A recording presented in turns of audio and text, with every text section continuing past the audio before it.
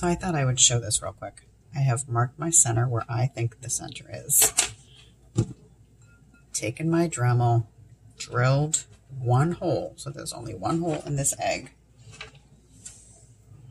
There's only one hole there. I use my syringe, which is like a meat tenderizer syringe.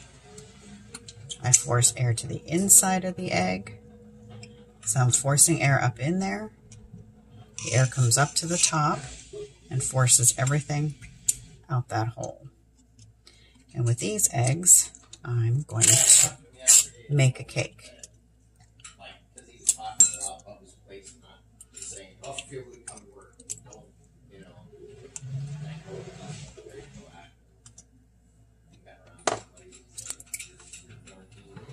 And then I'll rinse it.